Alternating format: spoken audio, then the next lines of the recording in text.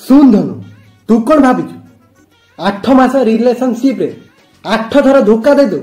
ନା ନା ନା ଯଦି ମୋର ଆଠ ହଜାର ଟଙ୍କା ଆଠ ଦିନରେ ନ ଫେରେଇବି ତ ବୁପା ଫୋନକୁ ଆଠ ଜଣ ଧର୍ମ ସହ ଫଟୋ ପଠେଇଦେବି।